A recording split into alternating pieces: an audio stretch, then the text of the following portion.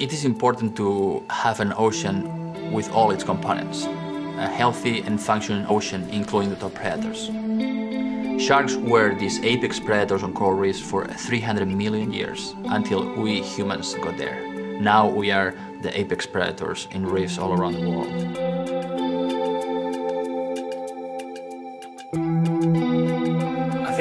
Biggest problems in fisheries worldwide is we've just got too good at it. I mean, in many things in life, in industry, for example, you want to be efficient. But in terms of fish, you don't want to be too efficient. If you're too efficient, you take out everything.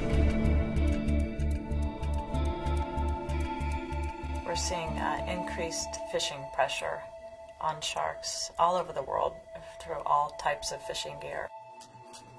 Shark populations decreasing pretty badly. Some estimates say 85% in the last 15 years.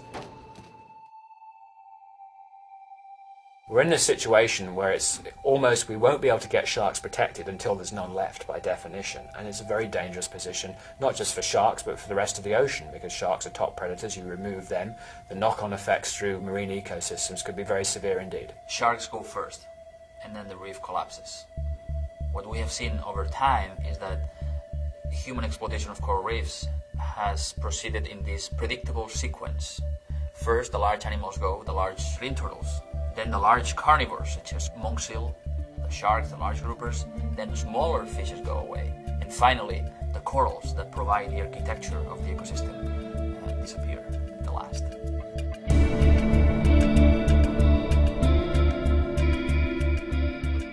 Fins are quite valuable, some of the most valuable fishery products.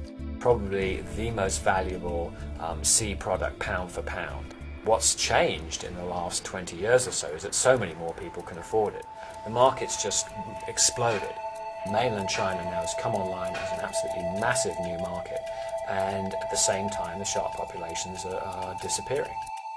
There's this economic incentive to kill sharks just for their fins, to discard the carcass, and to save the space on the boat for more valuable meat. What shark finning does is it means that, a, say, a tuna boat can take sharks, take off the fins, throw the meat away, which means their hold can still be used for tuna, but they can actually catch thousands and thousands of sharks as well. The time has really come now where we have to realize that if we don't um, regulate these mechanisms, they are going to literally kill the golden goose. They're going to destroy the oceans that we depend on for this food.